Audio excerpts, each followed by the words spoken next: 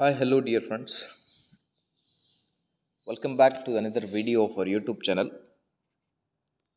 In this video, we are going to discuss about high school teachers recruitment related very important information.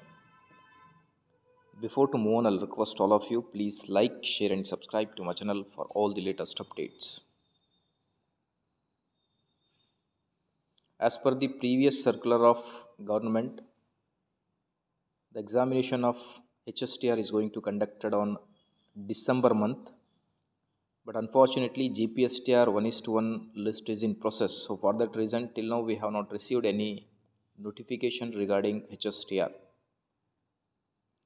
So many of you are commenting regarding when we are going to get HSTR notification, when the examination is going to conduct and what is the qualification to apply for HSTR.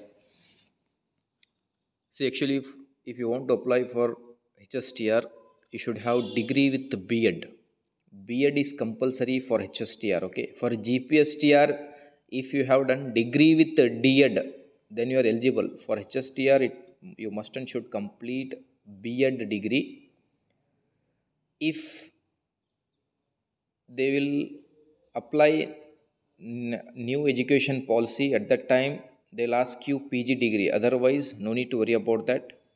They're not going to ask pg or tet so maybe as per the sources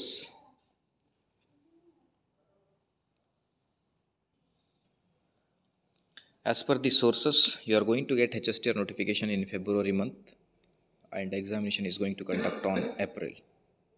This is what i got an information. So subscribe to our channel for all the latest update. Thank you friends